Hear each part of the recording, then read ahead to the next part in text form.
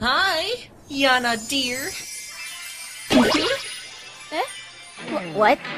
Bonry? My boyfriend.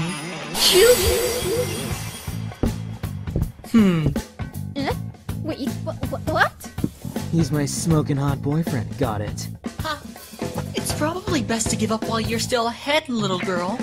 I'll have you know our love has been reborn many times. Right? Right.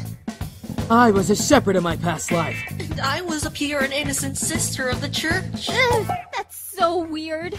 There's something wrong with you two.